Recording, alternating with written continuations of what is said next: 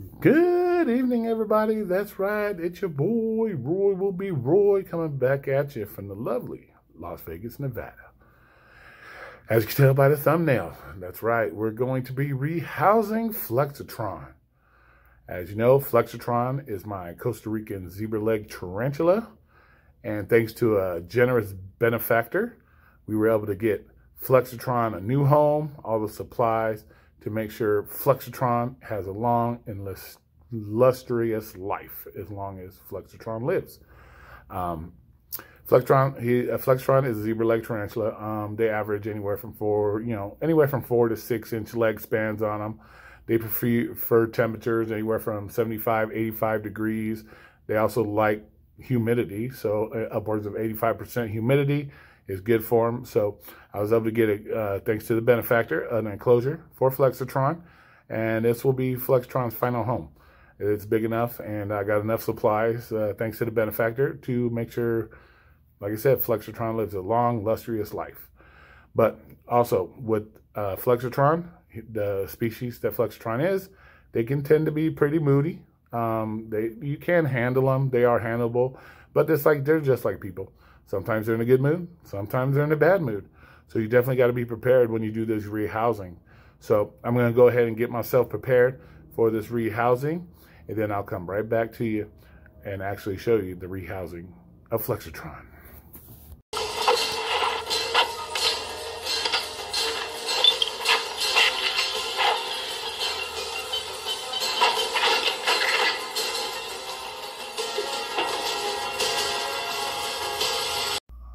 Okay, everybody, here we go. This is Flexatron's new home. Very large shoebox. We got some ventilation holes on the sides here. So first, what we're first going to do is we're going to go ahead and uh, fill, fill it up with some uh, soil. This uh, It's called ReptiSoil, made by Zoo Med. Um, it's going to take forever by doing it via this cup. But let's let's start with this though. We'll do this small corner. Then we'll get the little the little hide in there for trying. You probably want to put at least a good three to four inches of uh, soil in there. So we'll go ahead and get this in there. There we go. Yeah. All right. Let's see how that looks.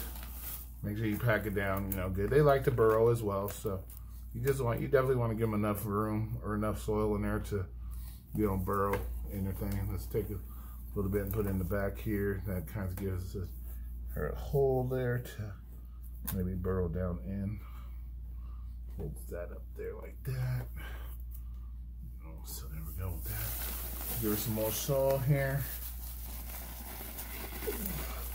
So yeah, I want to give her a good like maybe three, four inches. You know, some some like to burrow, some like to hang out on top. Just depends on the species, you know whatever species got. So let's get in there and pack that down there nice and good. Like I said, got vent holes. This will give her an opportunity to uh, you know, burrow wherever she feels like it. All right. Like I said, they love humidity, so you know you can wet it down if you want to, uh, but it's already kind of wet this soil. So all right, so we'll put that there. A little bit more here. Don't want to cover up the ventilation holes because you want to be able to get air, you know. But so we can start with that. Then what we're gonna do is we're gonna give her some green stuff because, like I said, once again, she loves humidity. So you know, we're gonna put some sphagnum moss in there, some moss. You know, we gotta make it look all, come looking all homey and pretty for the spider. Gonna make her home look tight. You know what I'm saying? You know, and uh, this time you could either pre-soak. Um, or you know if you want to pre-soak it you can do that as well. I gotta have this green stuff here then I'm gonna put some, uh, some other stuff. I've had soaking some sphagnum moss but that'll give it a nice look there. Then we'll give her some, uh, you know give her you know some more moss over here different like you know different substrate.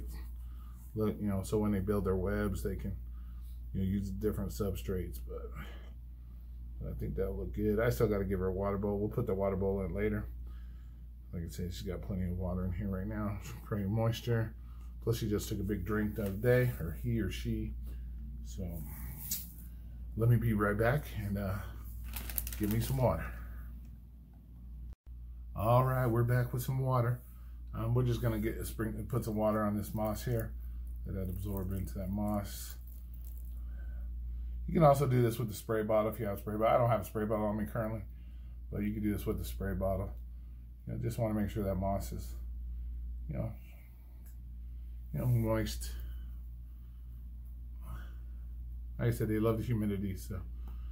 All right, so there you go. Looks pretty good. Looks pretty good. What y'all think? Leave down in the comments what y'all think about Flexatron's new home. So give me one minute. We'll grab Flexatron.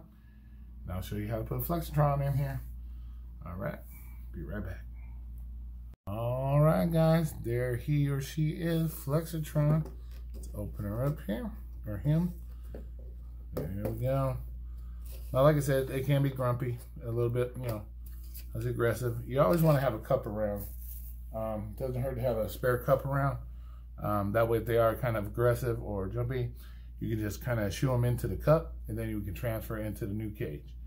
Um, so she's been acting kind of feisty, so I'm not going to pick her up right now. But uh, we're going to go ahead and uh, see if we can get her to get in this cup here. There she goes. Yeah, told you, man.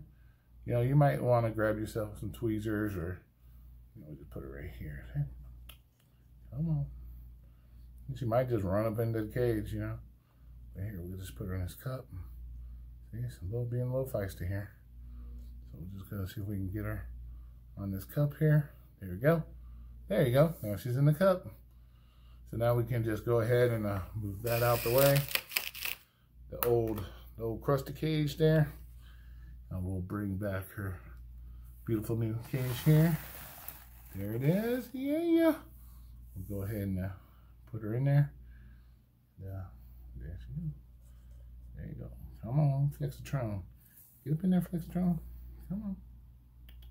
Come on. Try to. There we go. There we go. There she is, Flexatron. Oh, yeah. I think she's going to like this. Uh, once again, thank you to the benefactor um, for making this all possible. You know, Flexatron, I think, is going to love her uh, or his or her new home. Um, like I said, this will be probably her home for the rest of her life. It's big enough. Um, like I said, I think she's going to like it. And uh, once again, thank you guys for watching. And uh, remember, like, share, subscribe. And um, we'll talk to you guys later. All right. Thank you.